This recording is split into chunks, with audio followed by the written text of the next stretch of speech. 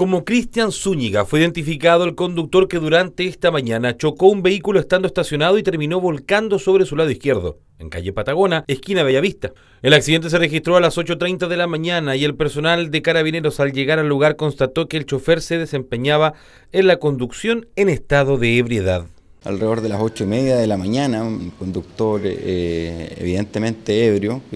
posteriormente arrojó el examen aspirométrico 1.93 entendiendo que el estado de ebriedad parte desde el 0,8 eh, grados de alcohol por litro de sangre, el conductor presentaba 1.93,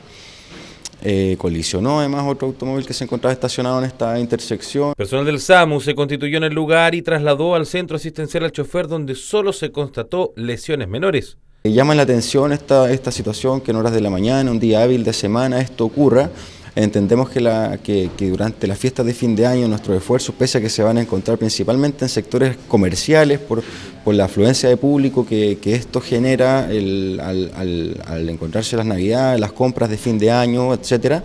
eh, vamos a hacer un esfuerzo también adicional para eh, mantenernos en distintos puntos de la ciudad, en distintos horarios, eh, para fiscalizar precisamente eh, que los conductores respeten las normas de tránsito. Este sábado será formalizado en el Tribunal de Garantía de Punta Arenas por el delito de manejo en estado de ebriedad causando daños.